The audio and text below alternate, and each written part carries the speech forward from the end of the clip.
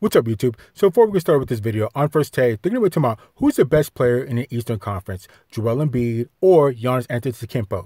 So let's see what they have to say about that. Can Embiid be the best player in the East?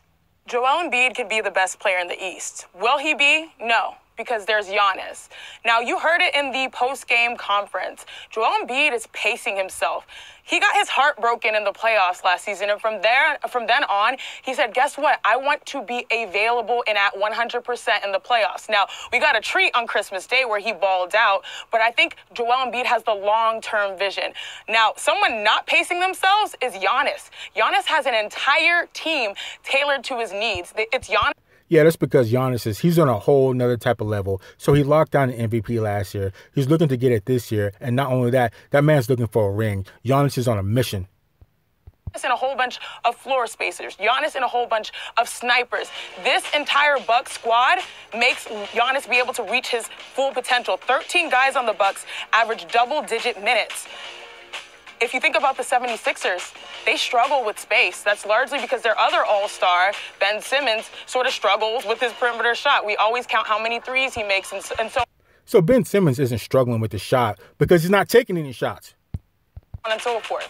Now, the Sixers, they've been shooting the ball where they're coming off of a 21 threes in a game, you know, tying the franchise record. Yes, things are looking optimistically, but the thing is, Giannis has that bread and butter of having teammates, which allows him to reach his maximum potential offensively. Joel Embiid, they sometimes struggle being able to allow him to dominate the paint, and that's because of the lack of outside shooting. So, as great as Embiid wants to be, he's cool. He's fine with just being dominant, maybe defensive player of the year. Come playoff is is where he wants to make some noise. And they treated Christmas Day like a playoff game. But Giannis, he is not pacing himself. And so far, with his team, the Bucks surrounding him with a strong supporting cast, that allows him to be the best player. So uh, Joel Embiid has all the potential in the world to be the best man in the league, if not the uh, Eastern Conference. Although uh, Gasol for the Toronto Raptors might have something to say about that. But you know, say Joel Embiid should have. There should be no reason why he's not dominating in the paint. And as far as uh, between him and Giannis, I have to go with Giannis because Giannis is pretty much doing it by himself. Joel Embiid has Ben Simmons with him. So I mean, Giannis is absolutely cleaning the house with everybody. I know they just lost to the Philadelphia 76ers, but again, Giannis is doing it by himself. He's taking care of business. He's on a mission. Joel Embiid has Ben Simmons with him, and he's not always showing the best of effort and, and consistency. So I'd have to go with Giannis. So let's continue. Well, Chiney, I, I agree and disagree. Uh, he can be if he plays the way that he played yesterday, okay?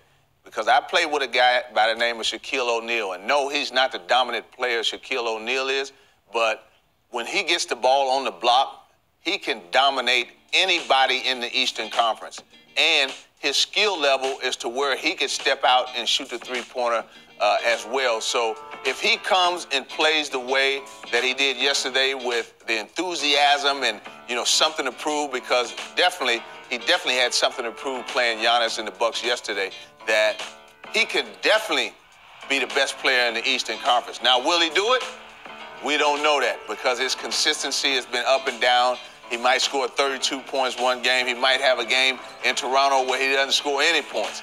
So uh, Giannis is, is, bringing it every night, uh, night in and night out. He's he's coming with the effort, the energy, and all that. So, but I think if Embiid plays with the intensity and the effort uh, that he played with yesterday, he has the ability to be the best player in the Eastern Conference. So I, again, at this point, I'm going to have to go with Giannis being the best player. But there's a couple other guys there that I don't want to sleep on that play in the Eastern Conference. So let's go through a rundown of the top five teams. So it goes the Bucks, uh, Boston, Miami, Toronto, and the 76ers. So obviously, let's run through some of the players that these guys, these teams have. So obviously, the Bucks have uh, uh Giannis Antetokounmpo. He's definitely putting in the work. He's my front runner for MVP. He's killing everybody. Then you have the uh, Boston Celtics. You have what Kemba Walker, Jayson Tatum. Two of those guys are leading uh, the number uh, two spot team. And then you have Miami in the three spot uh, with Jimmy Butler. Jimmy Butler's been absolute cleaning house, and he's pretty much been doing it by himself. Um, so in the fourth spot, you have the Toronto Raptors you know, those guys have Pascal Siakam, Lowry, VanVleet, and Paul Gasol, which he, he could be one of the most dominant big men uh, in the league right now, if not the uh, Eastern Conference. And then at the, the fifth spot, you have Philadelphia 76ers. So you have Joel Embiid and Ben Simmons. So there's a lot of guys throughout the top five teams that could, you know, jump uh, uh, uh to the top of the pack. But uh, as let me slow down, slow, let me slow down, I'm stuttering. but at this point, I have to go with Giannis as being the most dominant player in the Eastern Conference because he's doing it by himself and he's just killing it. So let's continue. I definitely think he can be the best player in the Eastern Conference. I think you know when the physical gifts match the the mental approach that he had yesterday. Yeah. That combination, he's absolutely the best player in, in the Eastern Conference. And I think the thing that jumped out to me was in the, in the post game uh, when he talked about how he wanted to be the defensive player of the year. To me, that says something. It's one thing we all know the physical gifts and the things that he can do from an offensive, you know, just offensively what he can do. But when you talk about being the defensive player of the year, the grunt work, the dirty work, the things that you got to do, having taken upon yourself to say, you know what, I'm going to guard Giannis, who right now is the MVP. The, if we if we had to choose a person, he's the MVP of the league. Yeah. And to shut him down, to frustrate him. If Embiid puts that type of energy into being the defensive player of the year, combine that with the skill set he already has as an offensive player. I mean, you're talking about a guy who's 7-1 that just flawless footwork can go out on the three-point line and hit threes, probably better than Giannis can. Oh yeah, definitely. Yeah, better than Giannis can. Definitely. So if he bringing if he's bringing that mentality of saying, you know what, on the defensive end, that's where I really want to step up and, and affect the game. If he does that, then there's no question in my mind that he's absolutely the best player we're, we're, in the Eastern. So I don't know about that. I'm happy that Joel Embiid has goals and he's he's saying what he wants to do. But at this point, he's been in the league long enough. I don't want to hear it. Right? I don't want you just do it. Just do it. It's the same thing with James Harden and Russell Westbrook. Those guys talk, and everybody knows that they're good during the regular season, but I don't want to hear it. Just do it. Just play and win. Get to the playoffs, play and win. I don't want to hear, everybody knows how good you are. I don't want to hear about your goals or whatever. Just do it. Because at this point, that's all I want to see or hear. And as far as Joel Embiid being the defensive player of the year, I don't quite think so. I think that's probably going to go to somebody in the West, probably somebody in LA but it's good that he has goals. And again, to reinforce what I was saying, I definitely go with uh, uh, Giannis as being the number one player in the Eastern Conference because he's pretty much doing it by himself. They're dominating, and he's just killing it right now. So let's continue. Also underrating Giannis's defense. I know he kind of got exposed because they were absolutely disrespectful to his perimeter shot, even though he's having a strong, you know, year shooting the ball, the three ball. But what you guys are forgetting is that the supporting cast matters. Like you cannot be hampered by your teammates. Your teammates need to empower you to play the best game. You're the best you're capable of playing. If you think about Giannis, he's surrounded by shooters, snipers, and there's so much spacing, and they play with pace. That plays to his strengths. If you think about George Hill shooting the ball, he's He's giving you the best three point percentage in the NBA. If you think about Khris Middleton, he went five for nine yesterday, 31 points, five for nine from three. He has guys that know their roles. Even the one game that Giannis did not play, his supporting cast looked so good that, you know, I thought the Pelicans were going to beat him, but no, instead, the Bucks were still able to get a win because they have the system. Now, does Philly have the system for Joel Embiid to maximize his potential? Not necessarily. Their best perimeter shooter at times is Al Horford or Tobias Harris. Now, Tobias is earning all his money. He just came off like a 35 point game. But you know what Philly does? They have Ben Simmons bring up the ball and then get in a pick and roll with Tobias, and they treat Tobias like the guard and Ben Simmons like the post. And guess what happens when Ben Simmons is a post? It infringes on Joel Embiid's space. He won't be able to be as productive, and that's the struggle.